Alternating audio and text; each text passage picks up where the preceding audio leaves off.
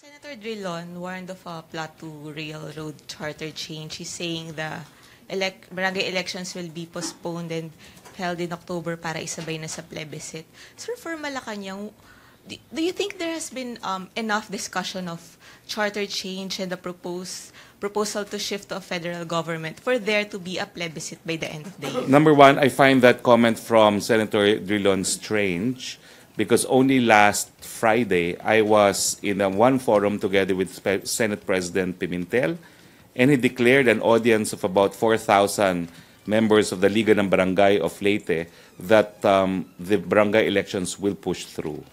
While there is a pending bill in the House filed by um, Congressman Johnny Pimentel no, to suspend anew uh, the barangay elections, Senator Pimentel declared before the audience of 4,000 that there was no support in the Senate for another postponement of the barangay elections.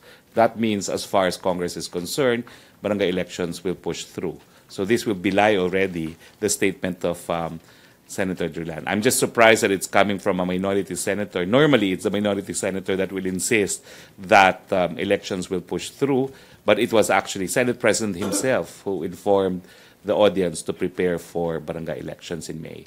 So, since um, the first allegation of Senator Drilon was false, I'd rather not comment on the other allegations of Senator Drilon, obviously because they're very speculative.